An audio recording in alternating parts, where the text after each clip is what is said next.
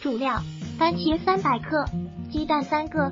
辅料：油、盐。制作时间：十到二十分钟。将番茄切块，将鸡蛋打进大碗中打匀，在锅中倒进少量油，待锅热后，倒入鸡蛋摊一会，倒入番茄爆炒，待番茄有点变软，加入盐就可起锅。烹饪技巧：鸡蛋彻底炒失败了，碎碎的，因为蛋液还没怎么凝固，我就把番茄倒进去了。有鸡蛋的菜不要放味精末。如果喜欢本视频，请分享并订阅本频道。